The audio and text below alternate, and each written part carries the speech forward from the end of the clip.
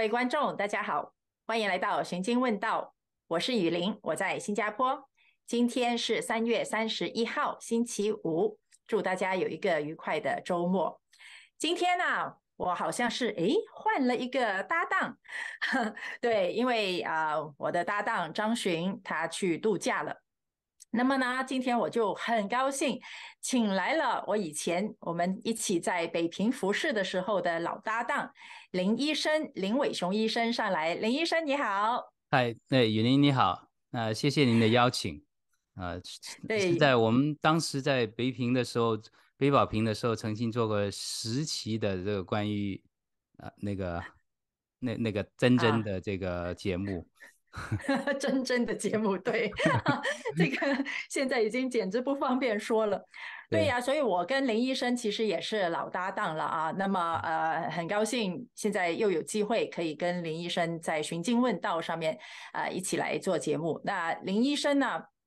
他是医生嘛啊，所以他就可以提供给我们他呃在专业方面的视角。OK，但是呢，嗯，不管你是医生也好啊，我们不是医生也好，我们对于美国最近发生的很多事情，相信都是一样，呃，就是感同身受，都觉得很揪心的。比如说，刚刚听说川普他是正式被起诉了，是吗，林医生？嗯，对。对，就是这个他的那个 grand jury 这个大陪审团要起诉他，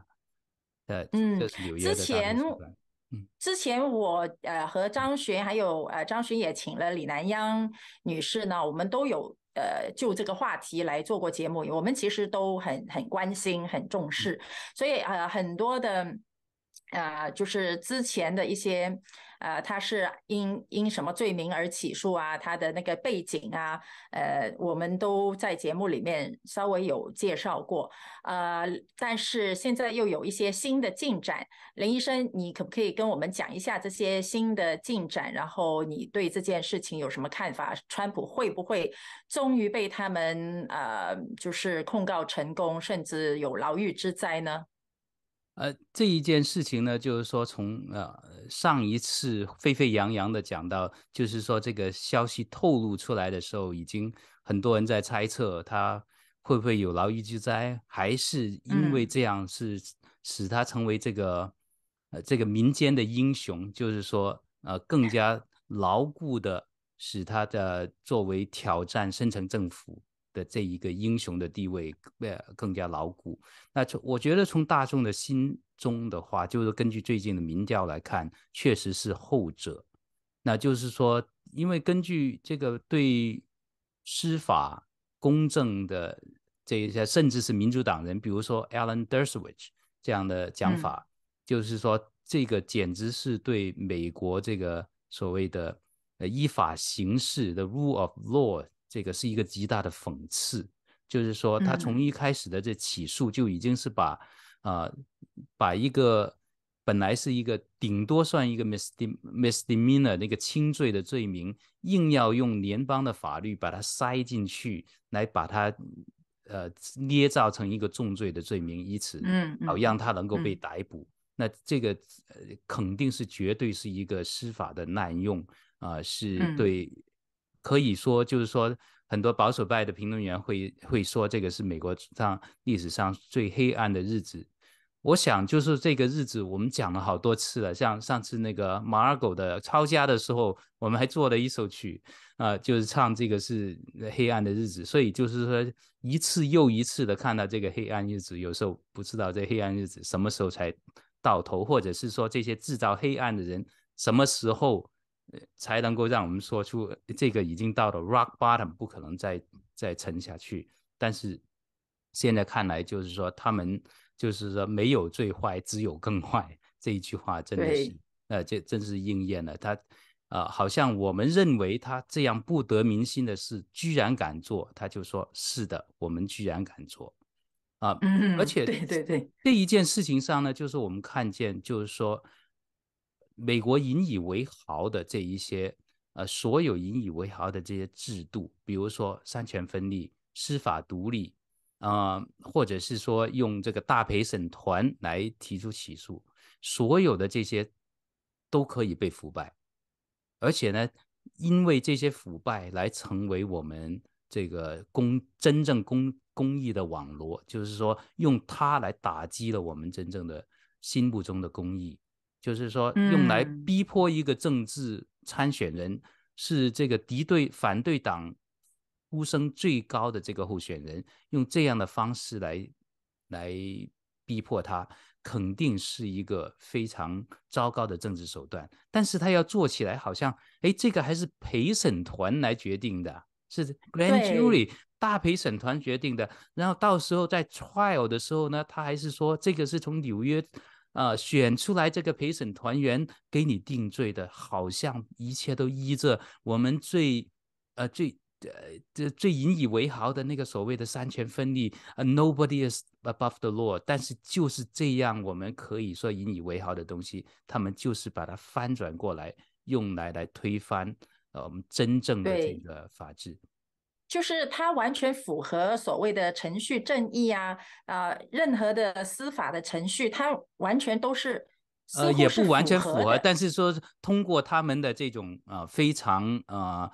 呃，拙劣的这种呃 stretching 啊，扭曲，嗯嗯，看起来好像他可以用高大上的词语来把它说出来，嗯嗯，啊，就是他穿着附会的去把它 fit into 这一个这个程序里面，然后就做到给很多人看，似乎是符合程序正义。所以你刚才说为什么这么不得人心，但是他们还是敢做？其实他所谓的不得人心呢，可能只是不得。嗯，可能美国一半的人的人性，但是另外有很大一部分的人其实已经是被蒙骗了。他们认为这个符合程序正义啊啊！其实我本身就认识好几个人都会说，那呃，没有人在法律以上吗？川普也不应该在法律以上啊！既然这个司法程序啊，Grand Jury 啊，这些人都认为呃他是应该被定罪的，那么他就应该被定罪啊！所以他的这个嗯不得人心，他是已经是觉得。赢得了，就靠舆论、靠洗脑，已经是赢得了很多人的心，所以呢，他们就有这个底气，敢去做一些这么呃卑劣的、拙劣的行为。所以你刚才所说的，我真的很认同，就是所有美国引以为豪的，或者是被人家敬仰的这些体制，到了现在呢，它的成就越高。它的呃可信度曾经是越高，变成它现在可以作恶的力量也就越大了。对，等于你一个武器是很很强而有力的一个武器，你曾经它可以呃。可以保护弱小，秉行公义，但是同时，同样这个这么强大的武器，它也可以造成同样强大的杀伤力。所以我现在看到美国的这个制度的腐败，它不是完全制度的崩塌，而是它似乎还在运作，但是它已经是朝着作恶的方向去运作了。你有没有看过有一个电影叫做《The Fly》，就是那个大苍蝇？呃，我听过，我没有去看。就就是说，这个大苍蝇的是很简单的这个就故事，就是这个科学家他研究一个，就是说基因，然后重新合成这个人，他每他翻新一次呢，就是好像 refresh 一次，结果他有一次做翻新的时候，有个苍蝇跑了进去，结果呢，这个苍蝇的基因组合在他人体里面，一开始的时候呢，他觉得活力十足，他可以蹦跳爬墙。然后后来呢，他逐渐这个人就变成了一只大苍蝇，就是说，呃，是，就是就是虽然说，就是说越来越有能力，但是却是面目全非，就是说成为了这样的。那好像美国这个系统，当它里面的本质最根本、最根本的根基，本来应该是建立在这个对神的信仰，而且呢，所有对这些系统都是在神的庇护之下才能发挥作用。当他把这一个抽去，而就光靠这个系统本身，希望能够发挥它作用的时候呢，它就好像这个中这个苍蝇，这个人这个基因里面掺杂了这个苍蝇，慢慢的变质了，就是说它强大的过程中变成了一个邪恶的强大。有时候，对对对，所以。呃，那呃，林医生，那对于川普呃这一次就是被控告，你觉得接下来会怎么样发生？他会不会很快就真的要坐进牢里面呢？呃，这根据就是很多人的分析了，就是川普现在是说他是下礼拜二就是去呃去到这个 report to 那个这个这个 DA 的 office，所以应该就是他们走那个就是的 booking 的程序，应该就是说能够放他出来，然后呃等候审判。他们他们有些人就觉得说，他们也许就只是希望能够给他一个 mug shot，就是说以后如果他真的成为这个呃共和党的候选人的话，那他就在那个时候呃放出他的这个就是呃被被指控的这个照片，就是所所有的 mug shot 都看起来都不怎么好看，对，就是用来指控你什么。啊，这个犯了什么什么罪名啊？等等，这一切的时候，就作为他在大选里面的一个武器，啊，所以，但是就是从另外一个角度来讲，至少在现在，就是说他在这个呃这个爱国者的心目中的这个勇于舍身挑战这个深层政府的这样的英雄形象呢，肯定是说他的光光环肯定是又增增强了很多。哦，我我可不可以这么说？就是那些本身就是不信任他、不喜欢他、呃，受主流媒体影响而讨厌川普的人，现在就更有理由讨厌他。你看，他都被起诉，他是 criminal，他是刑事犯呐，那就更加不喜欢他。我觉得就是说，那些不是非常恨他的人，就是稍微比较中立一点的人的话，在这件事情上应该是同情他的。我觉得，就是说我我觉得在这就从这个他跟这个德桑蒂斯拉开了一定一定距离这件这件事情来看，我觉得在这件事情上他会争取到一些同情。OK，所以你导从里面还找到一些正面的东西啊。我我的看法啦，我觉得就是说在对对，就是说本来比如说对于呃在。他的比如说对 Mega 的理念有支持，但是说对于呃中期选举啊，或者他所做的有一些事情，觉得啊不不大能接受。但是当他看到他所受的攻击的时候呢，会觉得哦，他之所以有这么强的那种战斗意识，是来自于他一直受逼迫。明白我意思吗？就是说他好像是说有一个就是那种刺猬刺猬型的这种。状态，比如说，呃，相比较之下，德桑蒂斯是一个，就是说，他就，呃，他做具体事情，但是，呃，就具体事情他会具体事情评论，但是他不会就是四处攻击。但是我们就一想，就是说，哎，川普之所以是这样刺猬状态，是因为他一直都在被攻击，而且是被那些最坏的左派攻击，因此我们就可以接受，哦，他为什么需要这样？对，这这个是对他的理解增加了。对对对，对他的理解增加。作风。对对，就是认为他这种作风是必要的。嗯嗯，OK OK，这所以你可不可以代表呃里面有你的看法？就是你你是属于偏向这一类人？呃，就是我我是就是我稍微不是，但是说我知道我周围的很多人会是，就是我我是就是我自己个人的 style。挺像这个德桑蒂斯，我在现在外面有不少人攻击我，我懒得跟他们吵，就是我就做我自己的事情，我该做的事情的时候，我就如果我直接需要为我做的事情辩护，我就做，否则的话，外面他怎么攻击我，我我我觉得我不用管他。但是就是说，但跟我同样有这样呃 style 的人，可能并不是很多。那多数的人呢，就是说。还是觉得，就是如果遇到攻击的时候，我就必须要奋起反击。那因此就是说，看到这个川普受到这样的攻击的话，马上就是觉得，那即使他不是不一定认同，就是当时川普对德桑蒂斯所发发起的一些批评，但是现在就觉得，哦，他这种的这种的心态，这种的方式的话，完全符合他所受到的这些委屈。和他所做的促进需要做的反击，所以我觉得就是说，在至少在目前来讲，啊，这个是呃使他的支持度增加了。哦哦，就对对，就是嗯，不是说是同情，而更多是理解了哈。对，我觉得理解和就是认为认同他在特定的政治环境下所需要的一个政治。嗯嗯嗯嗯，OK，我我倒真的不知道有多少是这样的人。我是呃把它简单分成两个阵营，就是 Never Trumpers 和呃 Trump supporters。我我这么简化的来分，我就觉得 Never Trumpers 就会更加的讨厌他，而且有理由觉得自己。讨厌他更加有理有证据，呃，而呃支持川普的人呢是更加同情他，也更加的爱他，就是也也里面有理解啊啊有有宽容啊这种，所以呢，我看到的就是你没有改变到嗯对一些人对川普的呃最基本的看法，但是呢就增又在增加了撕裂程度，就是。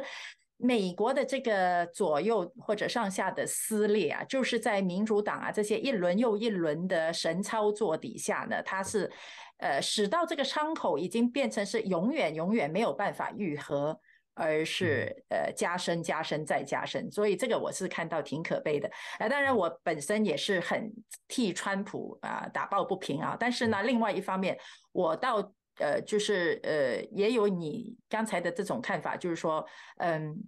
我是更加的理解他，也更加的呃支持他，因为本来他对 d e s a n d e r s 的呃 Ron d e s a n d e r s 这些言论呢，确实让我。对他有一点点的扣分，我就觉得你可不可以不要这个样子？你所做的事情我全部都认同，你可不可以不要这样说话？但是现在我就觉得，哎呀，小 case 了啊！我我们应该关注他受到更大的逼迫才对。所以就是说，通常就是 Sanders 的表现，还有就是 Ronnie Sanders 在这一件事情上的表现也很不好。就是你应该在这个时候也站出来说句公道话嘛。他今天的发的推文不错。OK 啊，是什么？我还没有看。你没有，他就是说，他他就是说，这个就是呃，这个这个 Soros backed，嗯，Soros funded 这个 AG 对这样的呃诬告川普的话，就是 turning the law into his head，啊，就是说把这个整个法律都翻转了。而且呢，他说就是 Florida will never participate in 这个，如果他要引渡川普的话，Florida 绝对不会呃再从中支持。所以他就是说，至少作为他的州长，他就说，在我作为我这个州的州长，我绝对不会让你过来要把他带走。那但是他也无法阻止，是吗？呃，没有，就是说，如果他要，比如说这这个川普说我不去纽约州这个检察官那里，那就是这个纽约州要不要说我 Floyd 要你把我比他交给我们，那就是德桑蒂斯说。就自在这里按照他自己州长的这个身份表了态，呃，Florida 不会，哦，但是说他就没有作为一个政客来表态，就是说，作为他就就是说他所有的表态都只是在他作为州长这个 office 来表态，而不是说作为一个共和党可能的候选人对于他的可能的政治对手的表态。所以有些人对他的批评是在这样，但是我是觉得就是说，he always。只是说我做我州长该做的事情，表州长该表的态，这个是我我我的看法。那就是说，那也许就是说他在这件事情上政治上他不得分，但是我是觉得就是说啊，when you go a long way，你就是每一步踏踏实实的走，得分或者不得分，那个就就是留待后要要看看全局吧。对，就是说不急着就是每一局呃。一一两盘的输赢，这样，这这是我的我我这样个人的想法，对，对对，那这个也是真的是看个人，因为对我来说，这个太过小心翼翼的这种 personality，在现在这种这种情况底下，战斗力不知道会去到多少，所以这个世界太难预料了，现在都是很非理性的，往非理性的去发展，而一个勇往直前的，像川普这样，真的是不怕满身子弹孔的。呃，他就有战斗力，而一个小心翼翼，像在走 minefield 这样子的一个人，我就不知道他能走得多远。所以这个 exactly 就是说，从从现在到明年大选中间还有很多事情可能发生，所以就 不知道到底是要哪一种的将军才最后能够走到最后。Yeah。对对对，确实好，那我们就把这一切交给神啊。还有我们呃，另外一个话题，我也想跟你聊一聊，就是在二十七号星期一那一天，就发生了一件真的是很令人难过的事情，就是在 Nashville 有一个变性人杀手啊，他是一个女生理女性但，认为自己是男性，那拿枪呢就到基督教学校去射杀，造成三个孩童的死亡和三个成人啊老师。校长的死亡，而且他本身是毕业自这间学校，呃，也是一个来自一个近前的基督徒的家庭，而又在做出这样的事情，那已经是真的很令人难过，但是。呃，难过再加上愤怒，就是事后的舆论啊，我就很快就看到啊，左派是没有任何的。呃，我都不指望他们忏悔还是什么了，啊，或者你呃对死者表示同情和和诚实一点的去报道这件事情，呃就没有。对于他们又在趁机责责败责备这个枪支安全啊，而且呢，甚至是责备基督徒对 LGBTQ 的不包容而造成这样的事情，甚至把杀手。这个冷血的枪手把他说成像个英雄或者烈士一样啊，对。而保守派呢，向来就是非常的君子。我就听到有保守派马上就跳出来说：“哦，我们不要责怪整个的 LGBTQ 的群体啊，任何群体里面都有极端分子，所以你只只可以责怪他个人，而不要责怪他的这个身份，他所代表的群体。”这个就让我想起以前啊，这个很多的恐怖分子啊。啊，那很多穆斯林、极端穆斯林的恐怖分子，那那那些左派就拼命说啊，呃，不要责怪整个穆斯林群体，他们是热爱和平的啊，只可以讲他个人。那确实不是所有的穆斯林都是恐怖分子，但是几乎啊，在起码在二零一六年以前，几乎所有的那些 suicide bomber 啊，那些恐怖分子，几乎啦都是穆斯林。所以你你不能够不把它联系起来想的嘛。所以嗯，我我。整个的这件事件加上事后的舆论，不管是从左还是某一些的右方的舆论，我都觉得让我心情也更加的沉重。所以林医生就想请你也谈一下这个这个事件，你有什么看法好吗？呃，我的看法就是说，比如说，如果就是说换一个时间哈，在罗马帝国早期教会的时候，就是说那个时候基督徒。确实是无权无势，也没有法律的保护。那那个时候呢，他们唯一能做的就是，就是是向神祈求、祷告，求神来帮助他们，或者就是说，真的就是说，呃，当别人打你的左脸的时候，把右右脸也给他啊，并且就是说，在至死中心来，就是说来捍卫他们的信仰。他们唯一能够捍卫信仰的做法，就是做烈士。殉道士，嗯，他没有其他能够捍卫呃信仰的这个来反对这个压迫者。那但是今天在我们的宪法赋予我们，这就是说，或者是说保障，不是，就是神赋予我们的权利，宪法有给这个保障这样的权利。我们应该就是说，在我们这个国家的言论自由的基础上来谴责这这些的。嗯，第一就是最基本的要谴责他们。第二呢，就是说我们既然这个美国是有这个呃拥枪的自由，那我们作为呃基督教的团体，也应该是对于自己的在世上能够所进行的保护，应应该参与。那就是说，作为呃一个基督徒，我们自己去呃训练好该用的这个呃防身的。的工具就是使用枪等等这些，我觉得都应该去这样做。如果某哪一天，哦，我是 challenge 我们教会的弟兄，如果哪一天如果有这样的枪手打啊进来我们的教会，我们有没有足够弟兄能够拿起枪来把他干掉？还是我们只能够就是用身体去挡挡枪眼，对不对？嗯那就是说，在我们可以有这个权利的时候，我们应该考虑，就是我们使用呀这个权利。如果到哪一天，就是说我们变成了这个这个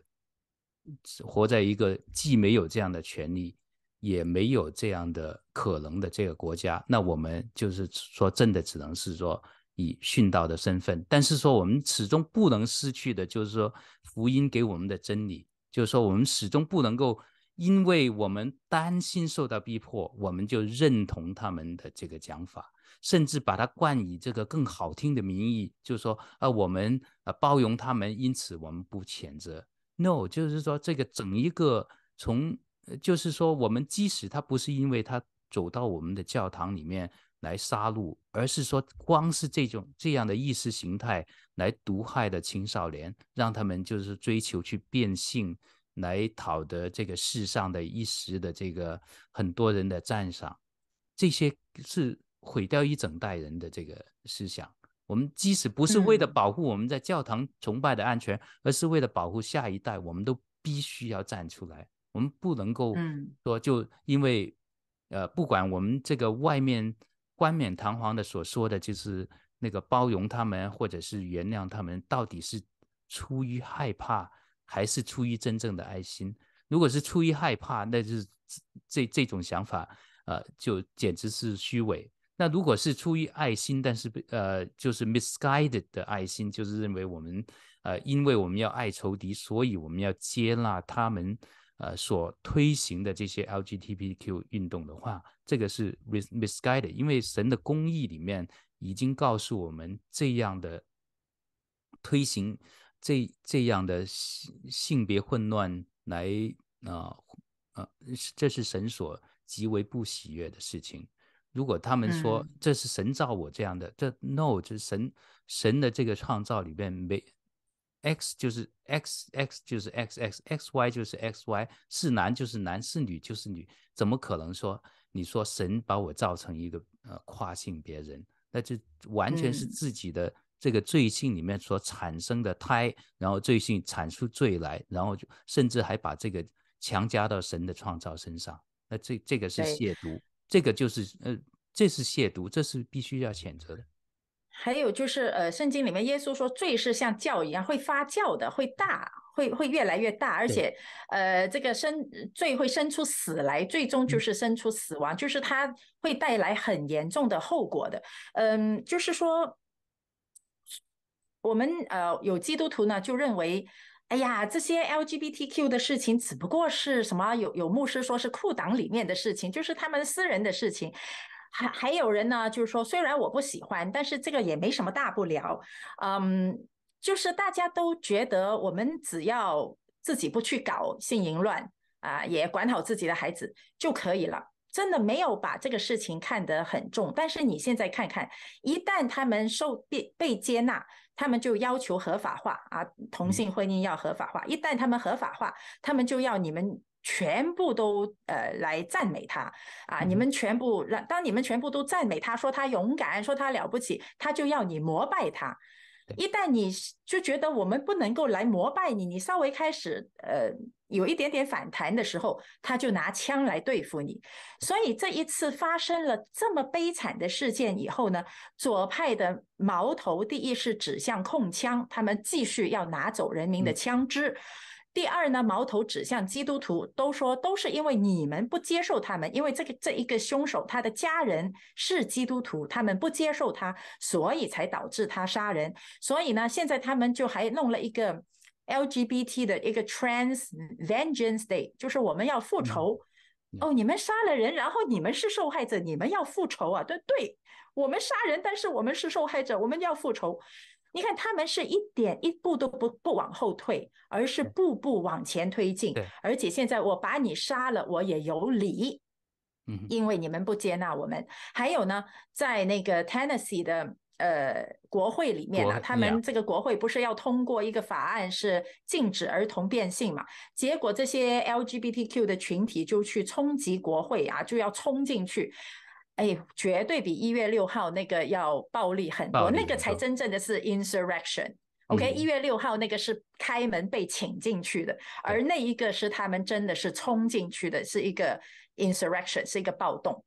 但是呢，呃，你你可以想象，主流媒体啊，呃，拜登啊，他们都是一致支持的，所以 LGBT 它绝对以。远远远远已经超过了什么个人性取向啊，它完全也甚至已经超越了社会运动。到后来我们看得出它是一个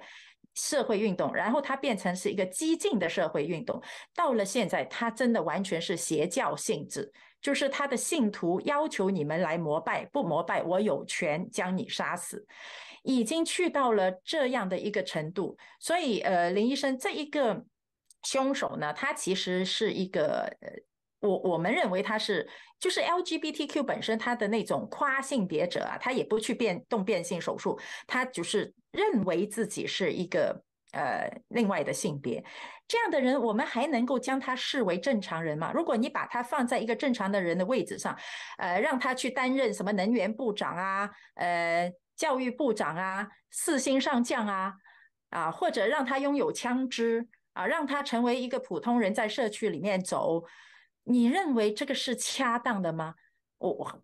我们到底应该怎么样面对这种所谓的跨性别者呢？哇，在这个。呃，七十年代的时候，这个呃，精神科学，那我们等一下讲到这个精神呃，这个医学呃系统的这个崩溃，那其实就是说这些崩溃不是仅仅是在一个方面，而且是全方位的。我们刚才所说的这个，当我们把这个它的根基，就是说神的祝福和我们对神的依赖抽走以后，美国所有这些引以为豪的这些体制，全部都。一个个被腐蚀，甚至崩塌。这个精神学会把这个呃性别混乱从从一个精神障碍定义为这个是正常的这个一个啊 alternative，就是正常的一个选项的时候，就是因为这些呃那个当时只是同性恋，同性恋的这些呃激进分子在这个年会。中间两连连续两年冲击会场，就是说他们开年会，他们就是去那边抗议，那就开始了这这些呃精神学科呃精精神病科学会的妥协，然后就修改了这个他们这个性别障碍的这个定义了，修修改了这个性障碍的定定义，就从从一个从一个精神不正常。变成了一个正正常的其中的一个范围，哦，那就就是因此就是说，任何一个人就是说他的这个对性取向和性别的这个认知有如此大的这个错呃错误的话，应该是属于一个异常行为，因为我们正常人的这个生理，从我们的传宗接代来讲，就是说。呃，你如果是同性恋，他不可能符合这个生衍繁殖的这个功能，那那个变性就更加不可能符合这个生衍繁殖的功。这样的异常的话，肯定是不符合这个，甚至即使你是用这个非创造论来说，你都看不出它正常在哪里。嗯，呃，你就算不用创造论，你只是说用进化论也好，就是进化论也是要为了这个生衍繁殖是以它最高的这个利益，那就这这不符合这个生物的利益。那我们如果是认识到这个人是神所创造的，那神给人的第一个诫命就是你要生养众多，遍满全地。就是说，如果你把这一个的这个基本的功能去掉的话，那我们这。这样的认知肯定是错误的，那肯定是一个精神障碍。但是呢，他他们把这个修改了，就是迫于当时的这个活跃分子所做的这个压力。结果呢，就是说他这个压力之下，这个精神学科所做的修改，又变成了以后他们所可以引以为证据，说你看，连这个精神病病学会都认为我们是正常人。所以你们就不能够再说我们不是正常人了。哦，那个以前的那个呃，John Hopkins 的这个 pediatric psychiatrist 的这个科主任，就是说他退休了。他退休以后，就是说发表过文章，说这个呃，这个同性恋是一个精神障碍。结果呢，就是说就被 John Hopkins 给 disown 了。就是说，哦，呃，就炮轰他，就是说，呃，他已经退休了，都要把他从那个叫做 Professor Emeritus 就退休教会的这个名单上要把他去除。他已经曾经是这个呃精神病科学会曾经担任很久的这个呃就是要职，但是他是退休以后才敢这样公开的讲。他甚至退休了以后，他们还是继续。要 要开修他的这个退休教教授的这个这个地位，有点像那个约翰威克里夫死了之后，他要把他尸骨挖出来 重新烧一遍。对，嗯，那。这样子就是说，这种专业领域它完全是受到政治的控制，甚至只要你去 stop 它，只要你去威胁它，他的学术和嗯专业也马上就退让了。而明明知道这个可能会造成的影响其实是很大很大的，因为你你的这个学术的地位和你的在你领域上面的这个权威性啊。是会影响到很多人的诊断和决定的，而这些诊断决定又在影响到人家的生活和一生的健康。对，但是这样子就会因为一些抗议受到一些威胁或者政治的压力，这样就退缩了。所以你刚才所说的这些引以为豪的这些制度，真的都成为了自己的网罗，甚至成为了毒害美国人民和生活和心灵的一个。呃，一个毒害的一个凶器呀。对，对，就是说，我们曾曾经引以为豪的这个这些科技，我们现在看见这 AI，就是慢慢就会成为了这这个凶器了。大大多数人都会看到了。我们看到的这个医医疗系统，就是医疗系统，我们看到就是在过去的两年里面所强推这个 safe and effective 的东西，呃，就是我们也看得到，它它可以一转。变成帮凶的时候，是可以是多么的呃凶残。嗯，对，所以，我们从这一次这个 Nashville 的呃校园的凶杀枪击案，其实真的是可以看到，它这个 LGBTQ 运动，再加上学术界的呃政治化，就是全盘的啊，从从上到下全盘的一个政治化，其实真的是息息相关，而它最后影响到的。是普通人家的孩子，他们的性命啊，而且从此其他孩子。他们的心灵也都留下了这个伤痕，这个烙印，所以其实是牵一发而动全身。没有事情，我们是应该置身度外。只要它是不正确的，其实从一开始我们就应该反对。当你开始了第一步的妥协，这个口子开了，它就发酵，这个面团就越来越大，以致毒死了我们所有的这个美好的东西啊！好，那呃，林医生，既然我们一直讲到这个。呃，制度，那医美国的医疗制度应该曾经也是大家算不算是引以为豪的，或者起码是一个非常先进和精密的一个制度，可不可以这么说？可以，可以这样说，就是说美国的医疗制度大概也是从这个，嗯，呃，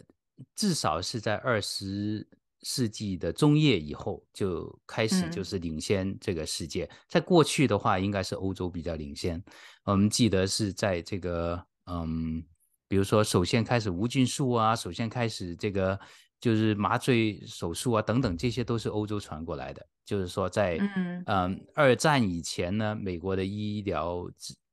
不算先进，这二战以后那慢慢才崛起。那但是就是说在这个很。其实就是说，在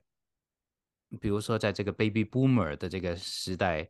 开始的时候，也是美国逐渐是开始离神越来越走越远。它的这个科技，包括这个医学的制度正在发展，但是呢，很快他们就把美国人把这个他的信心都放在这些制度上，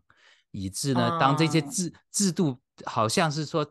登峰造极的时候呢，原来它已经要接近崩塌了。当然，就是说，这你看具体的原因的话，它可能有，你可以有很多的原因来分析出来。我可以就是我准备了一点点的这个幻灯片，这样的话就是让我的这个思思路的话比较，嗯，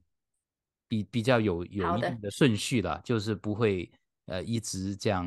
啊 bab babbling on。对啊，我我今天也是，就是想要请你更多的来跟我们解释一下这个医疗制度它是怎么样的一个崩塌，因为很多人呢，哎呃，在你开始之前呢，我稍微讲一下为什么我今天就是对这个话题比较有有兴趣，因为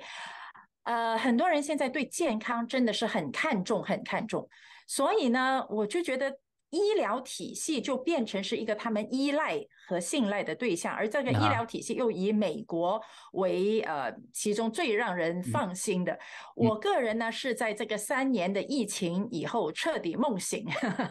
因为我那个时候疫情在中国传过来的时候，传到美国，我说哎呀，美国一定可以处理的很好，然后我们就可以看到 CDC 是怎么处理的啊，呃。然后这个 FDA 是怎么处理的？Doctor Fauci 是怎么样在说话的？还有那个绑绑死围巾的那个那个 Birds，Birds 啊是怎么样处理的？然后呢，呃，那个珍珍来了，哇，又又是一个梦醒时分，就看到珍珍，所以，而且那个呃辉瑞公司啊，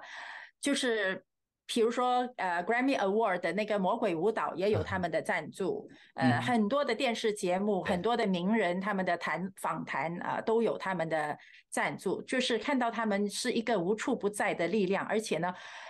全世界的政府都在帮忙推一个产品，这个是闻所未闻、听所没有听过的。对，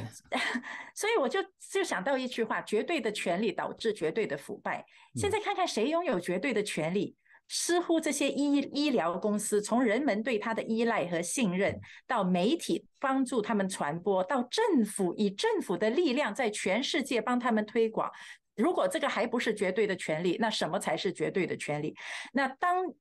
而这些权是绝对的权利是由人来掌握的。OK，不管他们的学历多高，他们都还是人。现在某一些人，他们掌握着这样的绝对权利，而如果他们腐败了，他们。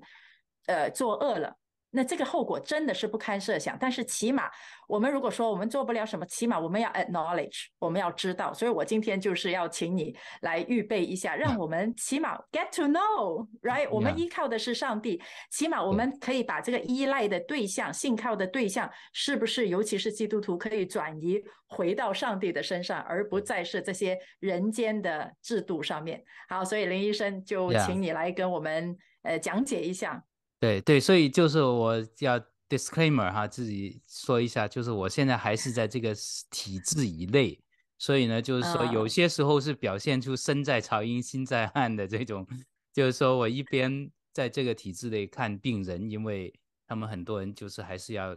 依赖这个所谓的这个医疗保险制度，他才可以 afford 得起去看医生。那，而且就是说，现在这个过程里面，我已经有很多病人，所以就如果我拖出体制的话，就必须就是把这些所有的病人，大部分我都只能够拒绝他，因为他们可能就没有办法要自费来来看，所以就是有些时候这些是，我们就等于说，我们虽然知道我们使用这个 Zoom 或者使用这个 Google 使用什么都都是同时在 feeding 这个 beast。Part of the beast，但是说我们又又必须要使用这个方呃这些途径来做我们该做的事情。不过就是说跟大家介绍一下，就是说为什么我认为这个医疗体制现在面临的压力和崩溃的因素，它主要是四个大部分：一个是开支结构失衡，人民心态变化，呃，医护人员失落，还有钱权机构腐败。这个并不是说。呃，钱权机构的腐败是最次要的一环。我想就是说，这每一环都是互相扣扣住的，很难说哪一环最重要。那其实最重要的是下面这一个熟龄根基的崩塌。这个我们刚才已经讲过很多了，所以等一下可能就不再在这里再重复了。这个开支结构的失衡，就是说，比如说老年医保是现在医疗开支总额的是。一年逐渐逐渐在越来越增加，现在，呃，老年医保大概占了就是总开呃医疗总开支的百分之二十五，那个这个穷人医保大概占了百分之二十，但是说这个就是越来越增加，但是说它的这个整个实际上呢是一个有点像这个 Pansy Scheme，Pansy Scheme，因为为什么呢？在一开始的时候就是说是输进的人多，这个。使用的人少，它一开始是大概是一九六五年的时候开始的，是这个呃 Great Society，那个时候美国人平均寿命是七十岁，男人平均寿命是六十七岁，那退休以后大概两年就就不再用需要这个医疗保险了，所以使用只是啊，退休以后很短的时间，而现在的美国人退休以后平均是存活二十年，所以就是说，从这个人口的结构来讲，过去的这个收支现在肯定是不行的。而这个现在相对来讲呢，这个劳动力因为这个人口的生育比例下降，现在如果不是有移民的话，就是美国现在靠美国本土的人生育的话，它是无法扶持它这现在这个老年人的结构。你从这里可以看到，我们现在这个这些八十五岁以上的人的这个呃增加的速度。在二零一零年到二零三零年之间是多么快，所以我们从这里看见这样的人口增长速度，就是老年的增长速度，使得这个 Medicare 所承受的压力，呃，在这个美国的这个 budget 里面来看哈，那这个旁边这个是 billion，所以当他这里写着一千的话，他讲的是 trillion，所以那个。这个 major healthcare program 的包括的就是这个 Medicare、Medicaid。你看他们的这个这个政府的这个医疗开支，是政府的这个政府的开支里面真正增长的只有三样：一个是医疗开支，一个是 Social Security，就是这个呃退休金，但是没有医疗开支这么快。另外一个就是这个借贷的 interest，就是说政府国债。要付的这个利息的，就这三样是一直在呃变增加，而且这三样是必定要增加的，没有办法减少的。而其他的开支其实没有啊太大的变化。那如果从这个联邦预算里面，七二年占的是百分之三，这二二年占的是百分之十三，到五二年应该是占百分之十九。而它的收入来算呢？就是我们现在美国人工作的时候都要配一个叫做 Medicare payroll，那这个 tax 呢，就是这靠这个收入了。但七零年就是这个 program，啊 Medicare 开始的时候，它就已经靠这个收入是能够支付了大部分的这个需要，只有百分之二十五是来自这个 general fund，就是说一般的这个政府税收的这支出。而到了这个，嗯。二零二一年的时候呢，这一部分你看从百分之六十二变成百分之三十多，那继续下去呢，这个这一部分就是我们现在正在配的这些，我们现在工作的人在付进去的那部分，就那个比例越来越少，它就从一般的税收里面所需要支出给 Medicare 的部分就越来越大了。那这个这个是一个就是人活得长了。但是活得长了的话，不单只是他活得长需要，呃，有多更多的年份需要用，而且呢，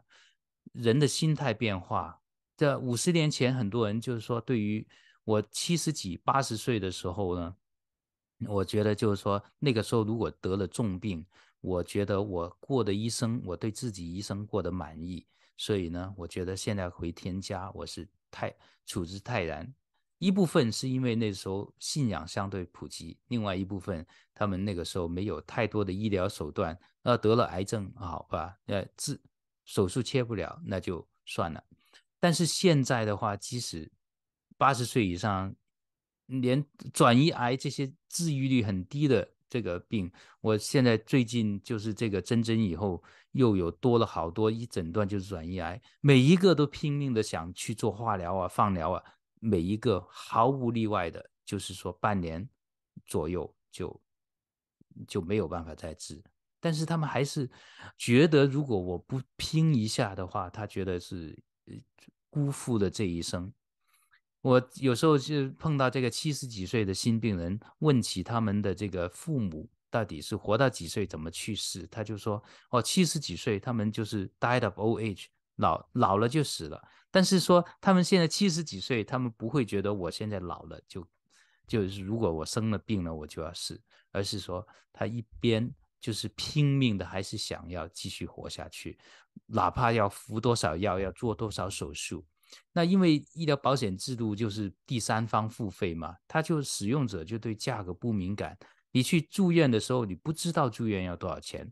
出院的时候这个账单才有。所以呢。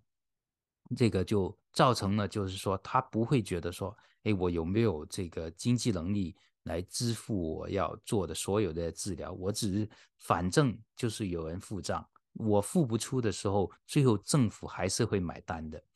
那最近二十年，虽然医疗系统都在努力控制这个，但是基本上控制费用带来又有很多的反的效果，因为心态上来讲，他是希望能够。得到治疗，不管我多老，不管得的病治不治得好，所以比如说控制费用带来这个医院费的这个比例减少了，但是呢，这个药费的比例啊增多了，所以最终它还是一直在往上增，啊，没有别的办法，而且呢，你要使用这个控制的时候，就要加多的很多这个叫做 administrative 的这些。所以就是说这些行政的开支其实又多了很多，很多时候说。我们要减少浪费，其实那个都是扯淡。主要的 Medicare 的不是来自浪费，而是就是说你实实在在最大的浪费就是有些病你可能根本没有办法治，但是说还是勉强去治，那就是浪费。那但是呢，就是说你增加了这个这种叫 administration，没有办法来控制得住这些。所以呢，就是因为这个这样的。嗯，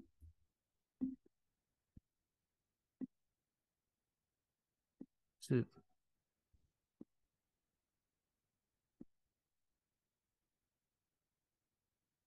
所以那雨林这个突然间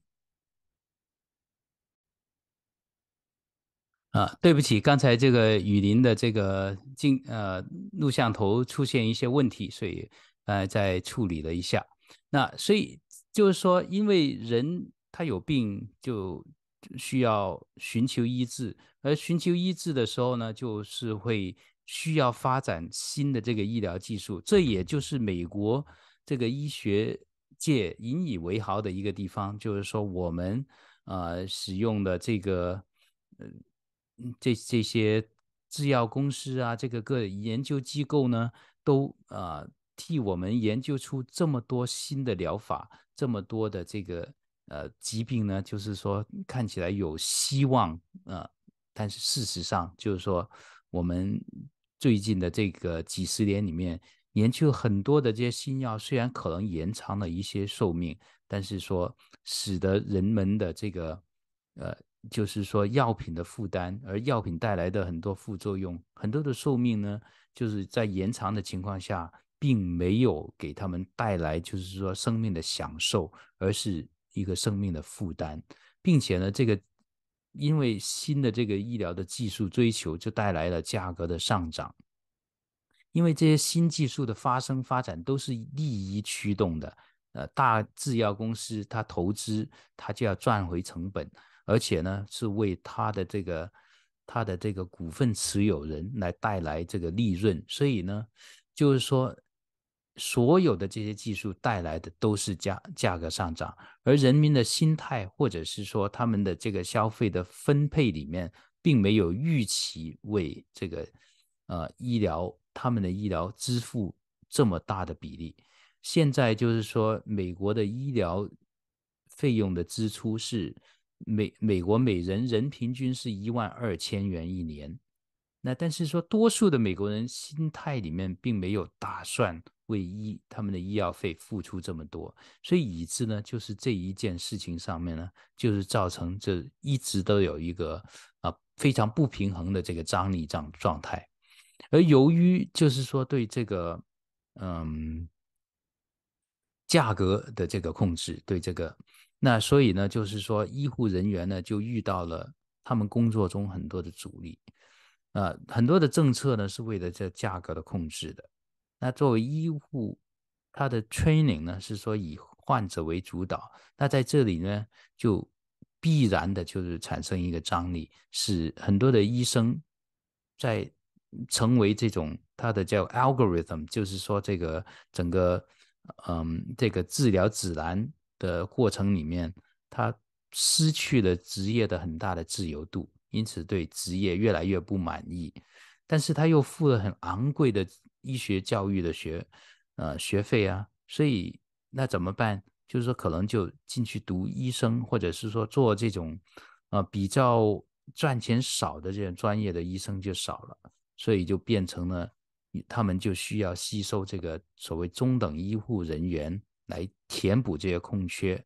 并且呢，中等医护人员填补空缺所得到的收入呢，可能几乎跟医生差不多。那这样使医生就付出的啊是这个学费和他的这个投资跟他后来的这个收入不成比例，所以医生又不满。但是说最大的这个崩缺还是强制这个真真所造成的伤害，因为有一些是因为他不愿意。呃，接受或者是说不愿去去勉强别人，而受到了这个逼迫，而这个揭露出来以后呢，是很多人看见他们过去这个光鲜的面膜下面原来是这么这样的污秽。那出现的这个因为真正带来的这些副作用，特别是免疫系统的损害，或者是恶性肿瘤的增加，或者是心血病疾心血管疾病的这些。急剧发生，使得他们在临床上面临的这些新的变化病况呢，是过去的这个呃指南里面没有教他怎么做的，所以他们就觉得越来越困难。比如说现在什么这个耳念珠菌这种过去根本不是呃很重要的致病源，而现在呢就越来越成为这种啊很多的呃。普遍使用的这些药物无法支持呃治疗的这些感染，现在很多人就是说一个呃住院几天感染了什么都不知道，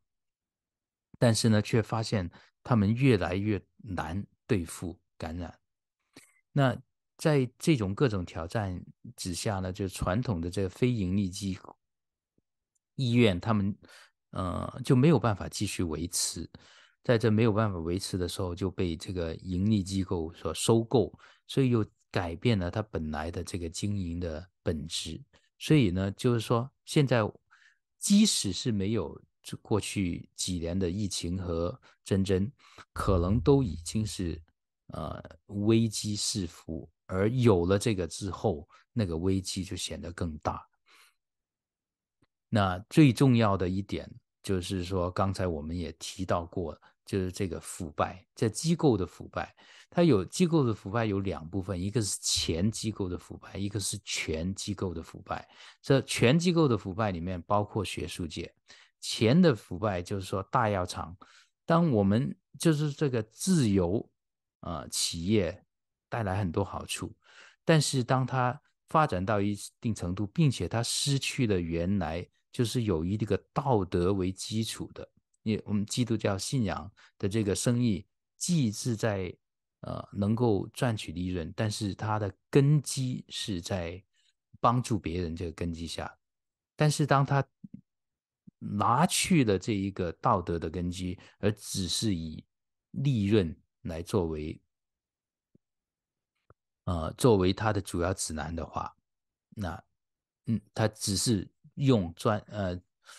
如何怎么样使用这个专利期来多赚钱？专利就是一个新药十十七年的专利，它就在这十七年里面又加叠叠加其他的专利，以致延长它的专利期。甚至在专利完成以后呢，他会给那些杂牌生产家给他钱，让他不要生产这个专利药，也好让他没有竞争对手，继续可以漫天要价。比如说这个糖尿病的一些药物，现在已经十几年的药物，现在依然要六百块钱一个月。那你想一想，美国的糖尿病人就是是数以千万计的，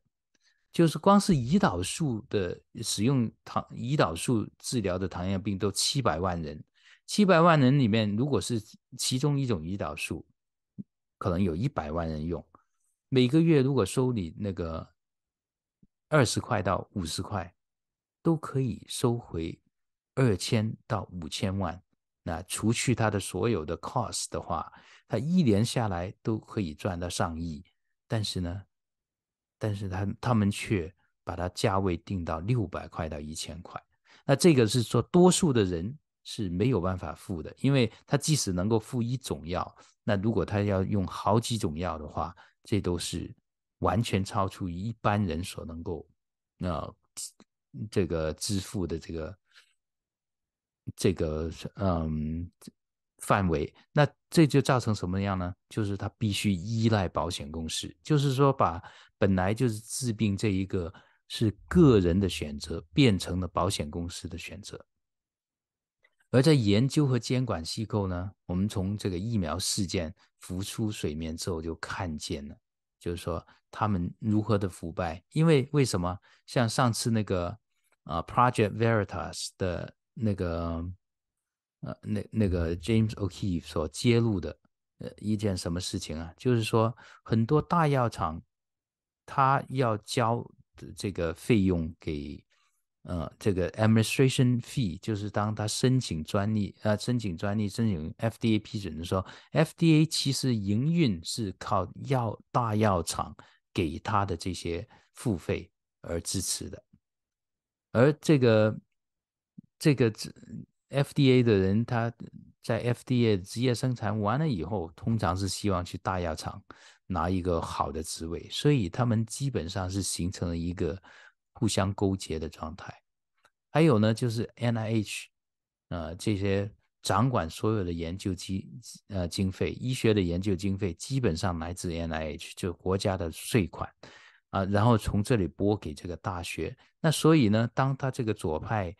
呃思想意识形态的人掌管了这个这些高层的时候，他就基本上通过你能不能发表文章，能不能拿到这个呃研究经费。基本上可以控制的人到底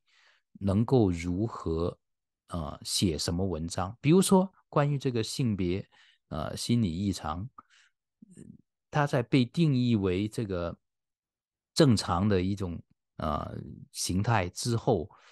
那它是本来是根据政政治压力这样的，但是呢定的这个形态变成了政治武器，那以后你。的研究发现，如果跟这个思想意识形态不相符合的话，你基本上没法发表文章。你知道做研究，如果你不发表文章，你就被淘汰。所以呢，很多人就违心的，就是说来发表支持的文章，而不支持的就被打压了。好了，那过去是用政治，呃，就是说好像是用学术来防止你的意识形态。啊，能够起到作用。现在呢，就是以意识形态来防止学术起的作用。现在基本上，这个左派的意识形态已经掌管了多数的高等学府、多数的研究机构，所以呢，研究就变成了为他们服务的。所以他们现在就不再讲究学术自由，他们是讲到学术为了他们的政治理念服务。好，谢谢林医生，哇，给我们呃很详细的讲解啊，让我们对美国的整个的医疗体系就有了更深入的认识。若不是一个医生在体制内的 医生来跟我们呃如此的专业的讲解，其实我们所知道的真的只是一个表象啊，大家都是根据表象来认识我们所依赖的整个系统啊。OK 啊呃，这这里要跟大家。解释一件事情，就是大家看到我跟刚才那个背景 光线都完全不一样了，因为在节目录到一半的时候呢，我家就出了状况，嗯，没电了，所以我现在就在没有灯光的情况底下，用手机来跟林医生继续录这个节目啊，就也呃，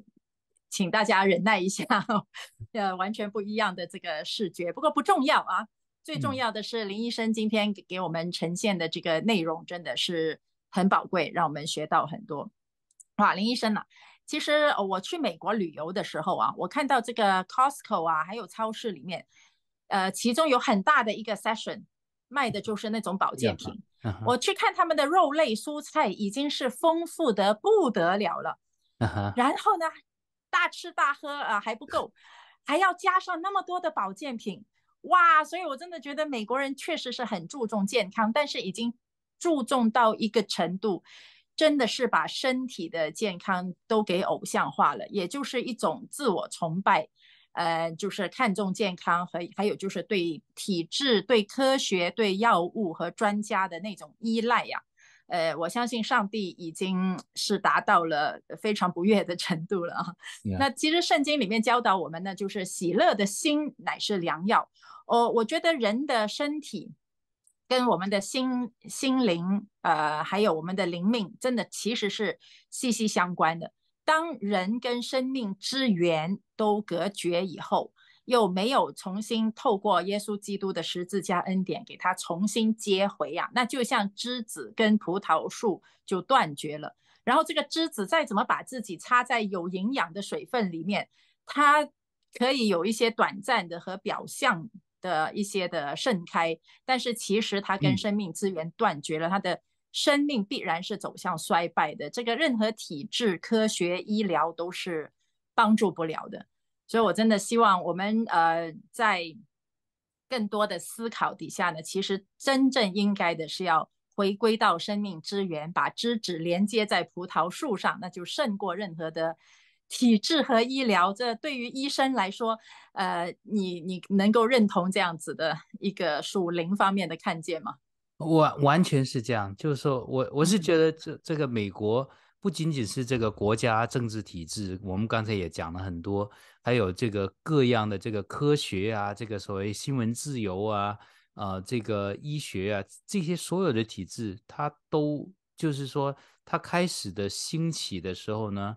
都是实际上是神给美国的一个祝福，可以使用这些手段来带来啊神给人俗世的祝福。但是，当他把神的祝福抽离了以后呢？这些所有的体制都成为了，就是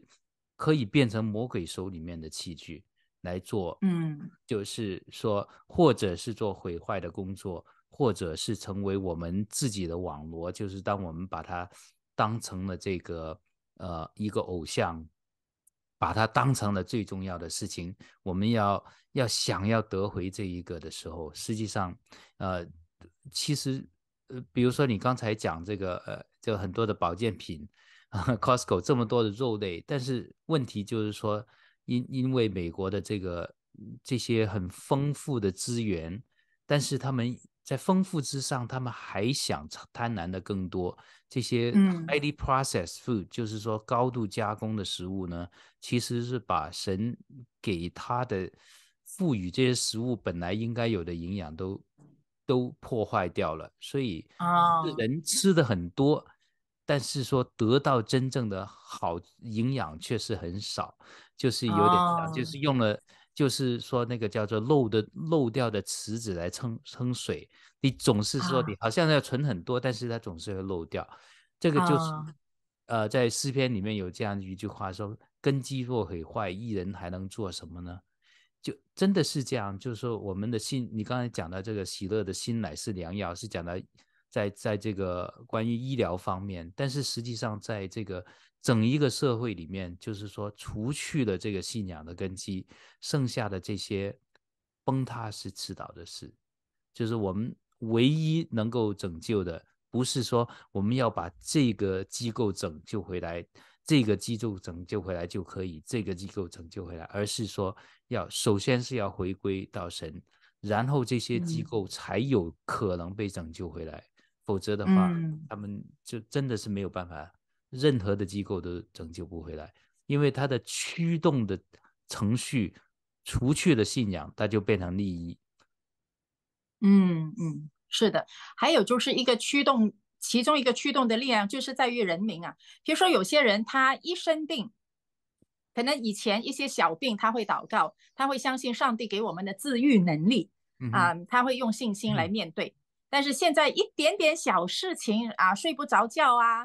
呃，什么便秘一下啦，还是呃头晕一下，马上就要去看医生啊，就做做全身的检查，这里检查那里检查，就是爱惜身体。呃，到了一个程度，那么每个人都这样做的话，他就形成了这种体制，把自己也当做偶像的一个驱动力了。其实这个驱动力就是来自人民的信仰和他由这个信仰所产生出来的行为，呃，那么就上下一致的就形成了这样子呃现在的一个状况。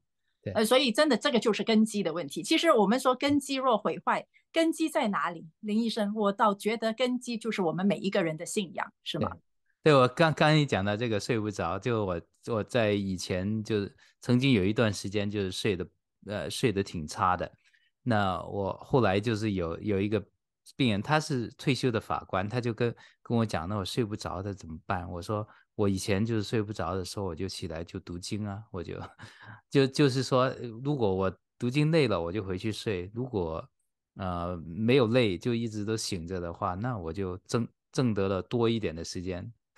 所以就是说，你你就如果这样看的话，你你就双赢了嘛。那但是说 你就 你就一直是想着说我一定得非非得回去睡觉，那你就总总是给自己啊，最后就是说只能够吃药来解决。所以，对对对，所以这个还是一个信心的问题。对对，真的是说的非常正确。好，呃，林医生，谢谢你今天又跟你上课，又跟你聊天呀，真的是收获良多。那以后我们更多机会，你请你答应多上我们的节目好吗？好，好，我相信观众也会很高兴的。好，那今天就节目就到这里，我们谢谢林医生，也谢谢大家的收看。我是雨林，这里是寻经问道，我们下次再见，拜拜，拜拜。